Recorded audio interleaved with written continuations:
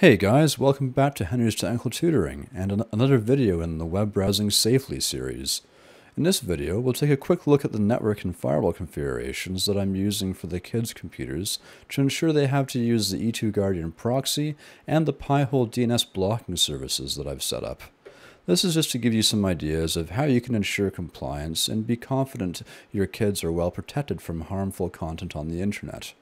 My kids are still not at the point where I believe they'll learn how to bypass the proxy settings in their web browsers, but they could always surprise me, so I'm making sure that can't happen.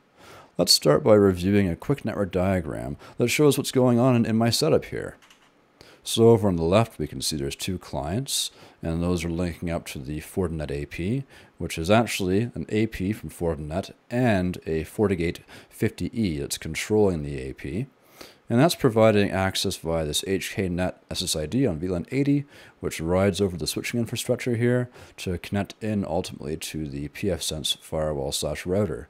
This then provides gateway access to the internet, as well as also access into the E2 Guardian and the Pi-hole services that run on separate VMs inside of a management network that's at my desk.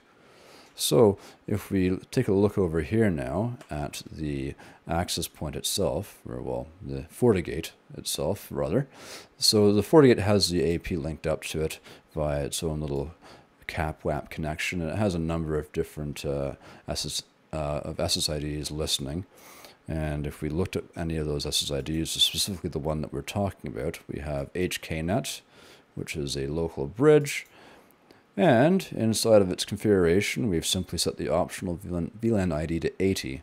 Now, as long as we've configured in our network interfaces the appropriate VLAN interface that also corresponds to that VLAN ID, then traffic will flow freely from the AP via the CAPWAP link back into the FortiGate, and then from the FortiGate it will be passed on to the VLAN 80 interface and into the network uh, as a frame. So that's great. Now on our firewall configuration, just a quick little review, we have the interface, KidsNet, which is bound up to a EM4 interface that's assigned to VLAN 80, and it has the default gateway IP address defined.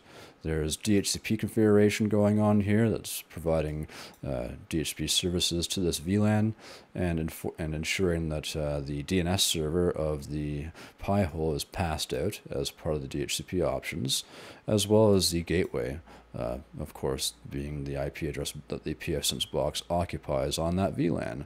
So this ensures that any traffic generated from the uh, kids' machines will always home in on this on this pfSense router slash firewall combination to gain access to the internet. And then over here we have some rules that are defined. And this is where the actual control is taking place. So we're, we, we obviously these are executed in, in a top to bottom order. So the first rule is basically providing access to the proxy host. This is ensuring that our traffic will be able to enter the E2 Guardian proxy and be forwarded on. Then, in case this proxy is you know removed from the web browser configuration on their clients, these rules will kick in and deny any direct access to the internet via port 80 and port 443 for HTTP and HTTPS respectively. So, oops. So the uh, next rule we have here is the DNS allow rule. This is allowing DNS traffic to enter into our Pi-hole server and be processed by it.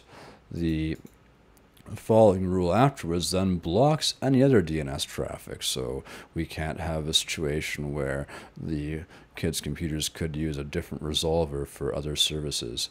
Keep in mind that for the E2 Guardian service, anything going here, E2 Guardian host is going to do the lookup itself, but it likewise is configured to use the same DNS server, so it will be subject to the same blocking rules that uh, any direct lookups uh, would be if they were done to that Pi-hole device from these machines. So next we have a block rule that denies access to other VLANs in my networks here.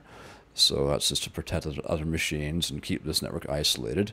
And then we have a, a, default allow all rule here that allows all outbound traffic to the internet. So anything that doesn't go through the proxy, uh, which should, should be pretty rare because all they're really using anyways is, is the actual web browsers on these machines. I haven't installed anything else for them.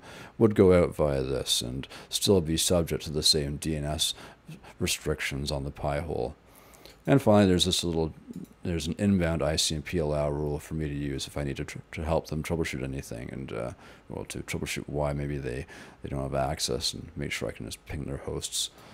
Uh, yeah, so that's sort of how that is done. To give you a quick example of what's going on on the machine, I have set up a uh, little test VM that's on that network. And as you can see, we can search for things like normal fun stuff. Cartoons work just fine.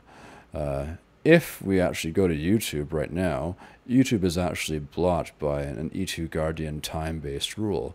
So if I was to click on this, I'm going to get a deny message saying that I can't look at that right now. It doesn't really say why, but that's okay. Uh, basically, this is very similar to the rule that I had shown in my previous video where I was doing time-based blocking of different sites. And this is just uh, set up to block, I believe, from 5 p.m. to uh, 7.30 p.m., uh, if I recall correctly. Anyways, one thing that I did do as well, is, and this was on the pfSense box, was to set up schedules. So if I edit these rules, I have a schedule that I had applied, which I took off temporarily for the demonstration there quickly. And I have applied this daytime kids schedule. So if I save that setting and do something similar here for this one as well, set this one also to deny traffic, or if it's outside of a certain window. All this is doing is setting a time when the rule will be active. As you can see, it's a, it's a yellow button right now, which means the rule is currently not active. So once we apply these changes and go back to our go back to our little client machine there, we should be unable to access anything. And this is how I just make sure that if you know they were to grab a laptop at nighttime and try and use it, that it wouldn't even work. So, uh, like that Ubuntu machine there, I've set them up with some Linux laptops because you know, go Linux, why not? And uh, that's what they use. So this is just to show you the uh, range information on the rule. We can edit this rule and we can change it and we can add or remove different times if we wanted to you know get a little more granular with what, with what we wanted to do like you know make sure it doesn't work during lunch hour for instance although that's not really been a problem yet so anyways so if we apply this change here and go back over to our client machine and we try to do a refresh we should notice that it will basically time out which is what we were going for so um, yeah, if you enjoyed this video, please like and subscribe and click that wonderful bell so you can see more. Also, please comment below if you have any questions or want clarification on what I've done with my network and firewall configuration, or if you have suggestions for anything you'd like to see in future videos. The Pi-hole DNS blocking video is coming next, and will likely be the last in this video series, where I will go over how to set up the Pi-hole service and uh, configure some custom block lists. Anyways, uh, hope you have a good one and uh, see you next time.